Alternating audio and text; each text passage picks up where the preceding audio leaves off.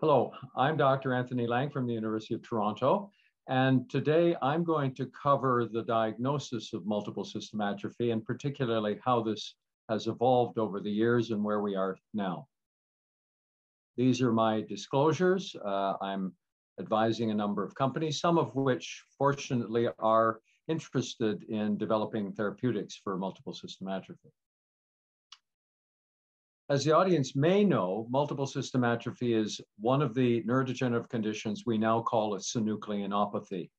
Uh, the four commonest group uh, of synucleinopathies uh, include Parkinson's disease, the most common, dementia with Lewy bodies, a condition called pure autonomic failure, and then multiple system atrophy there are a number of other disorders that have uh, Lewy bodies, uh, inclusion body that contains the protein alpha-synuclein. Alpha-synuclein is a normal protein, and you can see on the right side of this uh, slide that it is involved in synaptic function, the way that nerve cells talk to each other. And at the end of the uh, long axon, there are synapses, and this protein is involved in the storage and release and reuptake of neurotransmitters uh, from the synapse. Multiple system atrophy has a long history. Um, in fact, the term was coined in 1969, but it was well recognized long before that. Graham and Oppenheimer recognized that a group of disorders had uh, similarities, and the previous terms that had been applied were olivopontocerebellar atrophy, uh, idiopathic orthostatic hypotension, meaning a drop in blood pressure when the patient stands up, or progressive autonomic failure, Shy-Drager syndrome, based on the description of a disorder by two doctors, Shy and Drager, and then finally, striatonigral degeneration. In 1989, uh, Papp and his colleagues recognized a feature under the microscope gliocytoplasmic inclusions, or GCIs, that confirmed Graham and Oppenheimer's belief that multiple system atrophy and all of these disorders uh, were in fact the same condition. And then in 1998, the protein that I've mentioned, alpha-synuclein, was recognized as a hallmark. This is a relatively uncommon disorder. Uh, its prevalence is uh, 1.9 to 4.4 per 100,000 in the population. Um, the annual incidence is 0.6 cases per 100,000 persons or three per 100,000 people over the age of 50. We don't know the cause. Uh, there have been hypotheses that it could be related to exposures to in, in, occupations, for example, to organic solvents, to plastic monomers and additives, pesticides, uh, working in agriculture, uh, there is an inverse association with smoking, as in Parkinson's, but not as strong. There's very little evidence of a genetic risk. I'll mention this uh, later, although in Japan, um, multiple system atrophy of the cerebellar type that we're going to talk about in a minute is far more common than the Parkinson type. And this might suggest some form of genetic risk or predisposition in uh, Asians, particularly in Japanese. The clinical features really now we recognize are dominated by three major features Parkinsonism, ataxia, and autonomic dysfunction. Parkinsonism is the clinical syndrome that is seen most often in Parkinson's disease slowness, bradykinesia, rigidity or stiffness in muscles, the tendency to fall, sometimes a tremor at rest, as in Parkinson's disease, most, but most often uh, rest tremor of Parkinson's is not very common in multiple system atrophy. Instead, patients demonstrate a more jerky kind of tremor when they use the limbs in about 50%.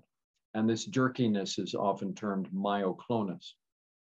Ataxia is another motor condition or motor disorder where there is clumsiness and uh, disturbances of uh, the limb, of um, the, the limbs, I should say, in using the arms and the legs, uh, gait, uh, walking, as well as uh, eye movement uh, features. Finally, autonomic dysfunction refers to a disturbance of what we call the autonomic nervous system. Uh, this is the automatic nervous system that controls things like blood pressure, bladder, bowels, sexual function. And this is a very common feature and is a hallmark and is uh, often severe and early with um, drop in blood pressure, with fainting, uh, with urinary incontinence and retention. And that is the uh, hallmark that makes the diagnosis of the condition. But we'll talk about the delays in uh, diagnosis in a minute. These are cartoons that show a section of the brain across uh, from the side. So if we cut the, the head in half and uh, show the, uh, the brain from the side, the cortex is the top part, the brainstem sits out in front, and this back part here is the cerebellum. Um, and so in the multiple system atrophy Parkinson features, or MSAP, this is the old term striatonigral degeneration. The striatum, the what are called the basal ganglia and the substantia nigra, the dopamine area of the brain, are predominantly affected, and that's why Parkinsonism uh, is the predominant manifestation. The next uh, um, cartoon over is multiple system atrophy of the cerebellar type, MSAC. Olivopontocerebellar atrophy is the old term. And that's where the back part of the brain, the cerebellum, and the part of the brainstem called the pons is particularly involved. And that re uh, results in ataxia, the clumsiness, uh, often uh, significant walking problems and uh, speech and other features. And then the autonomic nervous system, as I've mentioned, is involved, and then multiple uh, regions of the brain and the brain stem account for the autonomic failure. This is another slide now showing cutting through the uh, brain from the front to the back and through the brain stem um, in what we call axial slices. And uh, you see the various different regions that are marked in black that are involved. So this is why we call it multiple system atrophy. Many different regions of the brain and the brain stem are involved. Under the microscope, we see loss of nerve cells and what we call gliosis or sort of scarring of the, um, the brain and also accumulation of iron. So these are features that are very characteristic under the microscope. And as I've mentioned, um, uh, Papp and his colleagues recognized and described the inclusions, uh, the oligodendroglial inclusions or glial cytoplasmic, cytoplasmic inclusions. And the oligodendroglial cells are supporting cells of the, uh, the brain, and these are very much involved in the formation of myelin, which coats the axons and allows faster conduction of electrical current across nerve cells and these inclusions are in these um, oligodendroglial cells. And then, as I mentioned, the protein alpha-synuclein was recognized, and when we stain with antibodies against alpha-synuclein, you see at the bottom uh, tremendous um, ability to show these changes, whereas in the absence of that staining, the top part of this slide, you don't see much abnormality. So let's, in addition to the Parkinsonism, the ataxia, and the autonomic failure, we see other features that allow us to characterize the disorder, and these are very important in making a diagnosis. So breathing problems, obstructive sleep apnea or OSA, and inspiratory sighing, or another feature is stridor, and I want you to listen to the stridor features.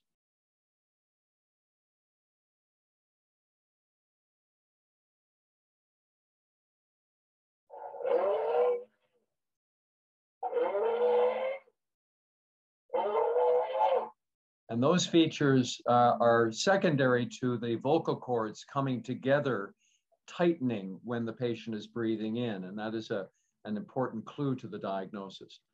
Bulbar dysfunction, this next line refers to difficulties with swallowing and speech. So severe difficulties with um, uh, speech and tightening of the vocal cords, as I've mentioned, not only interfering with breathing, but with speaking. Um, swallowing difficulties called dysphagia, and slurring of speech called dysarthria. Abnormal postures are not uncommon as well, and uh, I'm going to show you some features, the pictures that you're seeing here. The PISA syndrome refers to deviation to one side, like the Leaning Tower of Pisa. In the middle of this slide is the forward flexion of the neck, so-called anticollis, which is predominant in some patients. And then others have very severe flexion of the trunk, so-called camptocormia.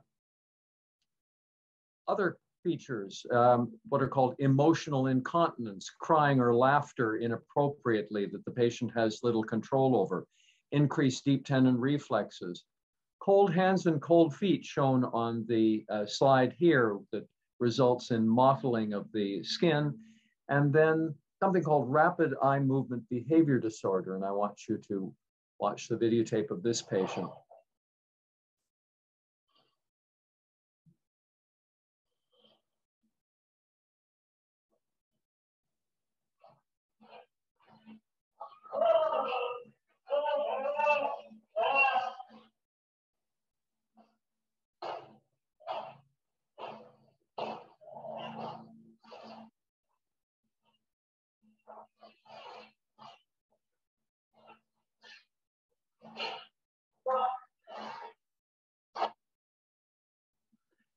So you see that individual is asleep, and during rapid eye movement sleep, when he's dreaming, he enacts his dreams. Uh, in normal individuals, we lose muscle tone during rapid eye movement sleep to protect us. So we're not activating our muscles. Whereas here, the brainstem mechanisms of preventing um, activation of muscles is lost. And so patients are able to act out their dreams. And you can see this can be dangerous to the patient. They may fall out of bed, they may injure themselves, or they may injure their, their bed partner. And this is a, a feature that may actually precede other manifestations of uh, multiple system atrophy. It's a feature also that we see in Parkinson's disease and um, uh, dementia with Lewy bodies, two other synuclein uh, degenerative conditions. We also think of features that are against the diagnosis, a late onset after the age of 75. I've mentioned the kind of tremor that we see in Parkinson's disease at rest that is not a, typically a feature of multiple system atrophy. Loss of function of peripheral nerves, so-called neuropathy, is not seen in MSA. Hallucinations and dementia and a family history are all features that were generally not seen in uh, this condition as I mentioned, this is a disorder that generally occurs younger than um, Parkinson's disease and other conditions that mimic Parkinson's. So it's a disorder that starts in the, the mid 50s most often and rarely uh, in the 70s and 80s. Um, typically, the intervals from onset to needing a walking aid or about three years, needing a wheelchair about five years, being bedridden eight, and deaf about nine to 10 years. Uh, so this is a, a bad disease that causes severe physical disability and uh, results in death uh, prematurely, unfortunately. This is a slide that looks at milestones of disease. The top bar that you see in the middle is Parkinson's. Uh, the bottom line you see is the age of onset. So um, if we look at the top gray bar, Parkinson's generally begins in the late 50s, early 60s, and extends over many years. You see here the bar ending around the age of 76 or 77.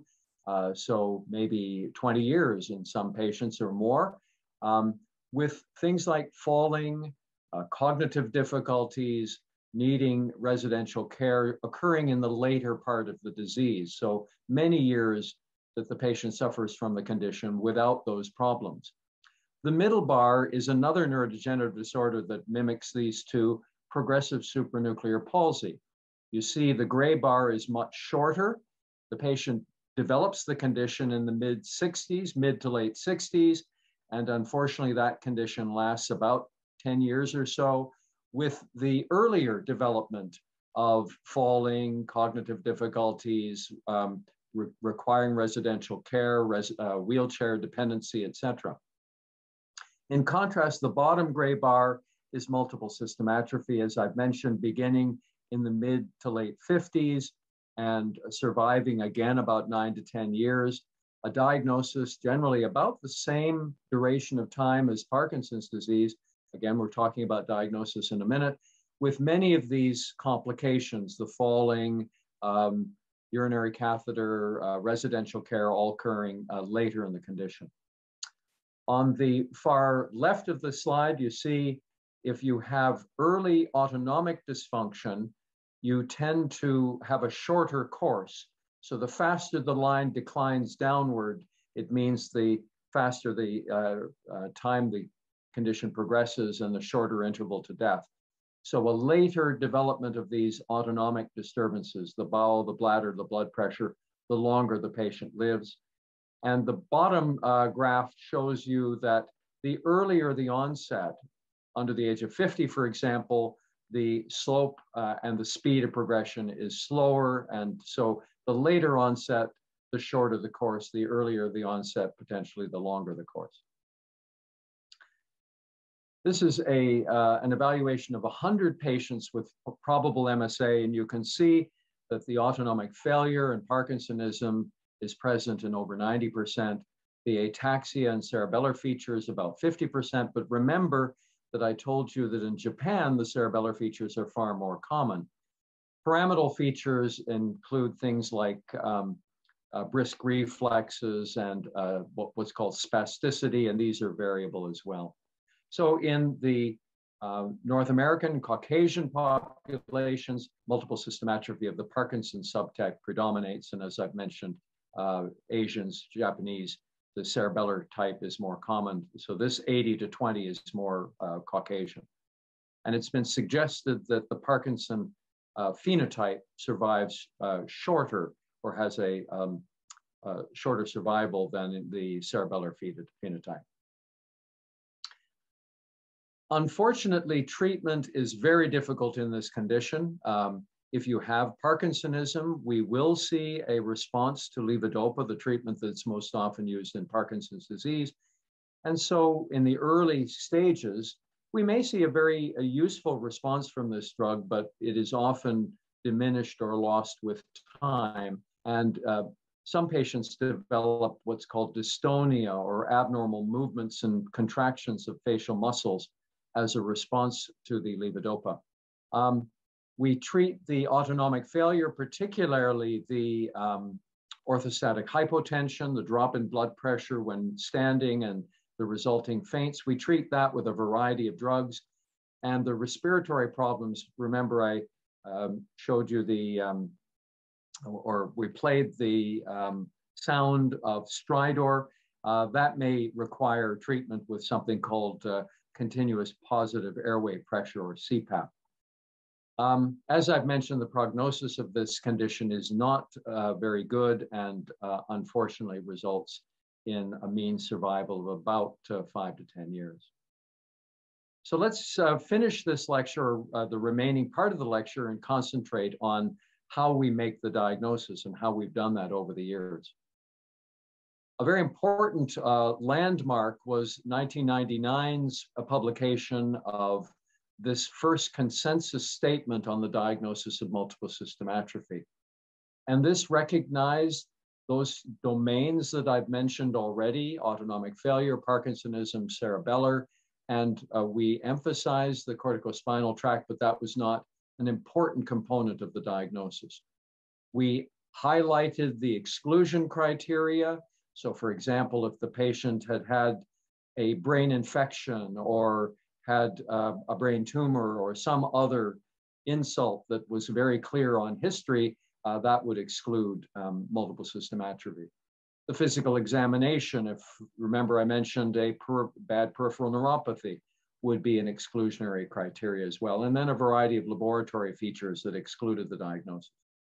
And we categorized MSA at that time under definite if the pathology was obtained. So unfortunately, definite MSA could only be made, the diagnosis could only be made at postmortem after the patient had died with the characteristic features that I've shown you.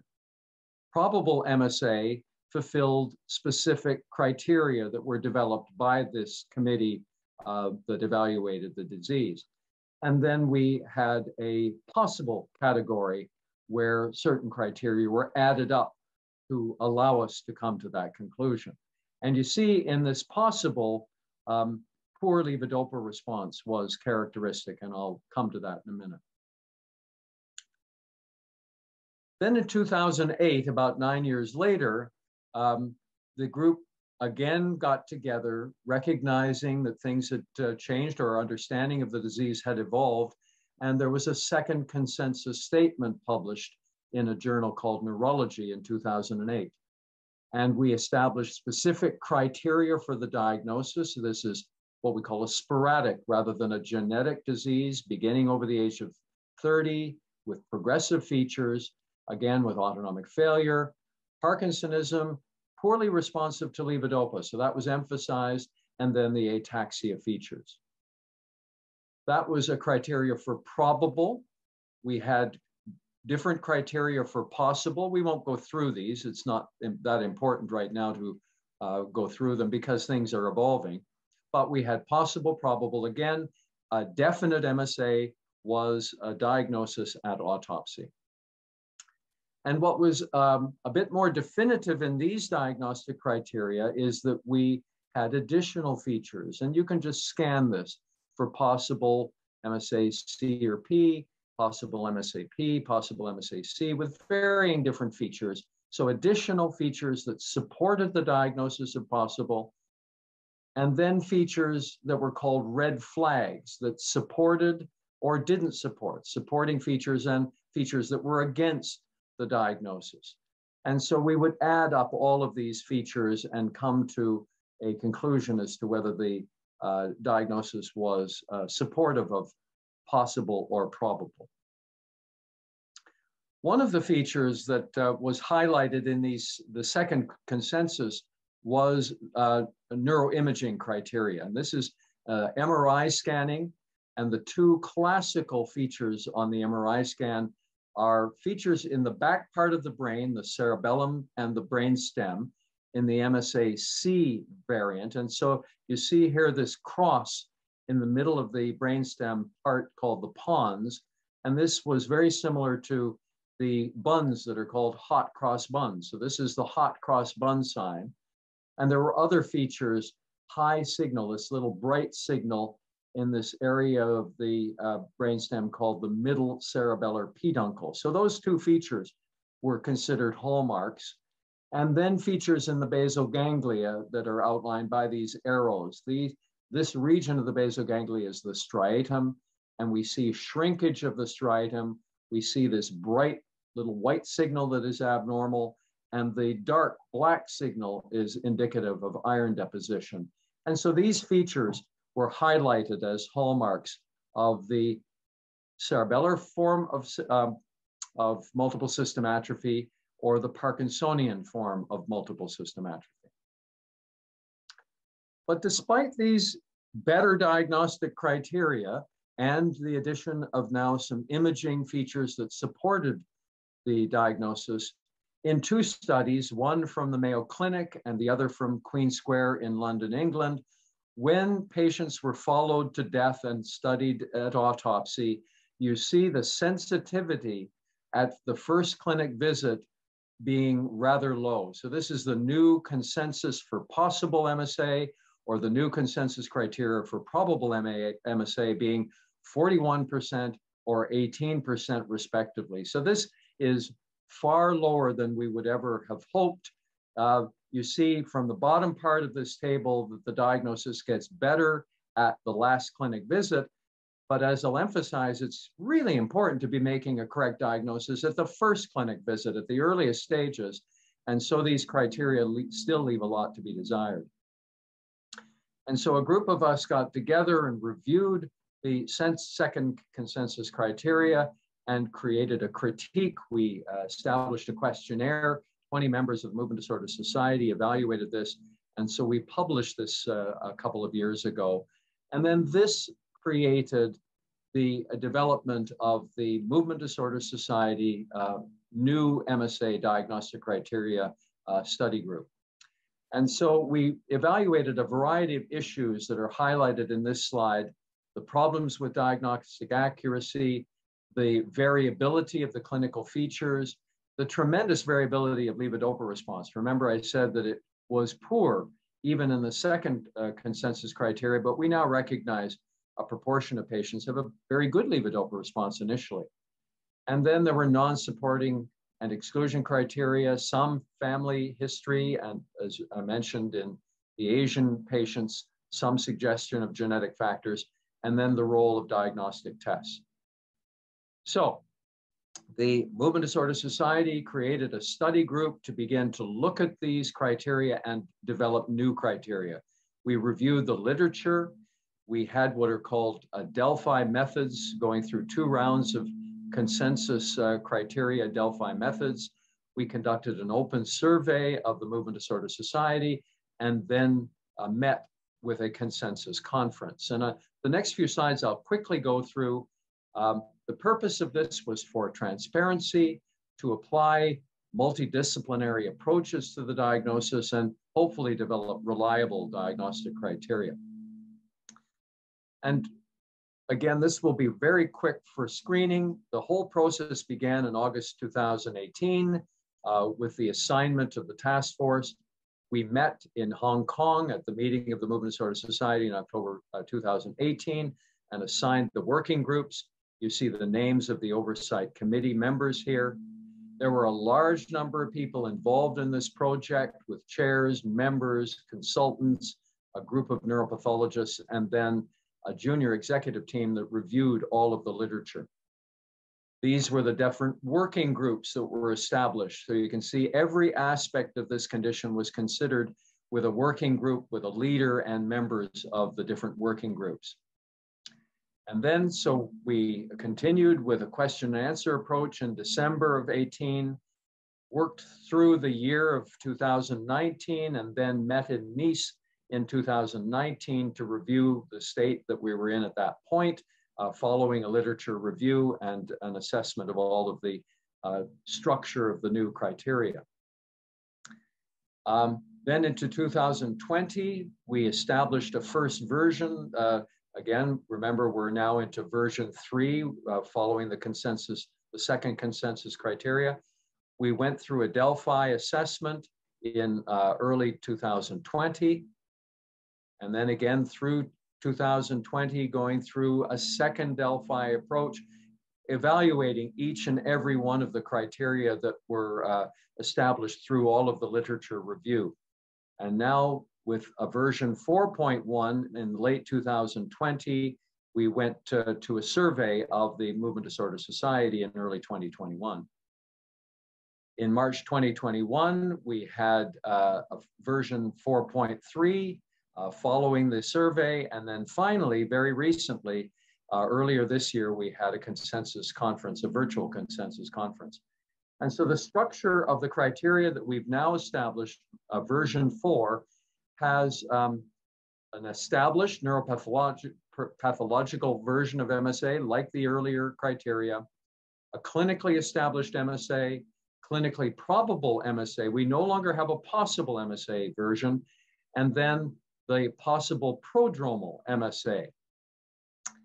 I can't share the criteria with you because these are under final review and need to be published before they can be shared publicly but I'll just share the uh, general outline of the criteria as they stand now. As I've mentioned, the established is neuropathological, um, clinically established, a new version, so we feel much stronger about the diagnosis. And the purpose of the clinically established MSA is um, for clinical practice as well as for research. Clinically probable, the purpose is to include people in clinical trials and epidemiological and prognostic studies. And then finally, a new uh, form, uh, the ability to consider patients as having possible early prodromal MSA uh, for studies of the natural history and epidemiology. This is largely based on the presence of autonomic failure and minimal motor criteria that don't fulfill the criteria of the others. Now, one of the problems still is that even with these new criteria, I'm not sure they're going to be reliably distinguishing MSA at the very earliest stages. The clinically established and clinically probable MSA, there's still considerable overlap with other disorders early on, like Parkinson's disease and progressive supranuclear palsy. So we still need more reliable separation. And then the fourth uh, form, the prodromal MSA, as I've mentioned, exclusively deals with patients with autonomic features or rapid eye movement behavior disorder. What we need, however, is to move the diagnosis earlier. And so we need probably with different approaches, with biomarkers, the ability to diagnose the condition even before patients fulfill the criteria that the, all the best of efforts uh, with the Movement Disorder Society's uh, uh, process have come up with. And I think that we're only going to be doing able to do that uh, with new diagnostic tests. And we need this because we need to uh, introduce disease modifying therapies far earlier than we're capable of doing with clinical criteria. And so what are the possible biomarkers that we might be able to use for the early diagnosis? And you can scan this slide, um, genetic studies, but there are no reliable genetic uh, uh, predispositions that uh, we understand now. There are newer imaging studies that might be useful, but none of them have been applied yet and proven to allow us to make a diagnosis early.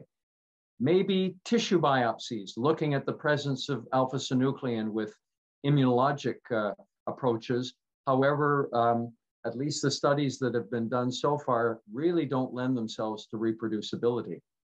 And then maybe blood and cerebrospinal uh, markers. There's a, a protein called neurofilament light chain that is increased in MSA, but it's rather non-specific uh, and is also increased in progressive supranuclear palsy or even conditions like multiple sclerosis. So finally, additional um, markers might be these uh, novel techniques called seeding assays, the real-time quaking-induced conversion at the bottom here, RT-QuIC, or protein misfolding cyclic amplification, or PMCA, which uh, take advantage of the fact that the abnormal synuclein, the abnormal protein, is capable of inducing abnormal folding in the normal form of the protein. So the presence of abnormal protein is detected by its ability to seed and change normal alpha synuclein.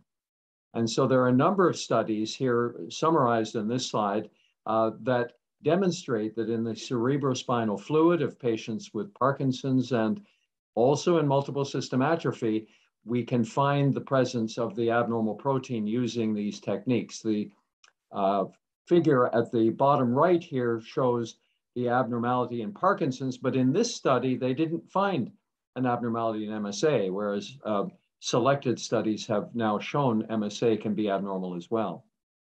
And it's also possible to demonstrate these seeding assays in patients who have the very earliest manifestations of these conditions. So isolated rapid eye movement behavior disorder, I defined that for you earlier. So these are patients that don't demonstrate any motor features apart from the sleep abnormalities. And then on the right of the slide, patients with a pure form of autonomic failure who later, so they present with, for example, drop in blood pressure when they stand, orthostatic hypotension, but only later evolve to manifest multiple system atrophy or uh, Parkinson's. And you can see in the earliest stages, when they only have autonomic failure, they can demonstrate the presence of the abnormal seeding. And also, this abnormal seeding can be demonstrated in skin. So, not just cerebrospinal fluid, but there have been preliminary studies to show that the abnormal seeding can be discovered in skin, at least in Parkinson's disease. So far, MSA hasn't been very successfully studied in this way.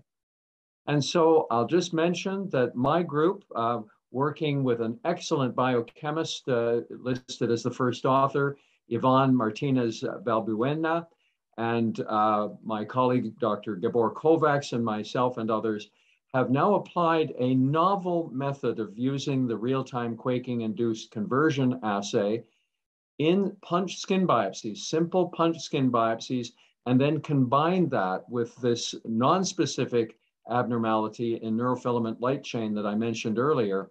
And we've discovered that we can fairly reliably demonstrate abnormalities both in Parkinson's disease and in multiple system atrophy. And then the elevation of neurofilament light chain tells us that the patient more likely has multiple system atrophy than Parkinson's disease. And so if our work and others can be confirmed in larger numbers, I'm hoping that we're going to move the dial back and we'll be able to evaluate patients at the very, very earliest stages. For example, when they have rapid eye movement behavior disorder or when they have just uh, autonomic disturbances and be able to diagnose them before they get on this horrible curve of progressive disease that only lives for five or, or um, more years. And uh, so at that point, we can introduce disease modifying therapy when it becomes available and hopefully prevent this terrible course. So I'll thank you for your attention and we'll entertain questions uh, after the, the lecture.